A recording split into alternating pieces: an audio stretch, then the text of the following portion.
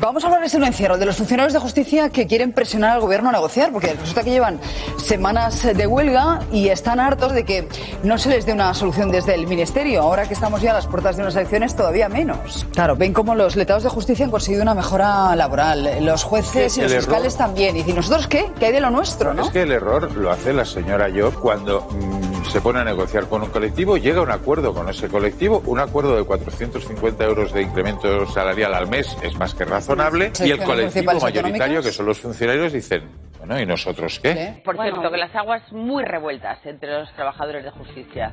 Representantes de los funcionarios se encerraron ayer en el ministerio eh, porque el secretario de Estado se levantó y se fue y ellos se quedaron allí para que se tengan en cuenta sus reivindicaciones. Eh, piden dignidad para su colectivo.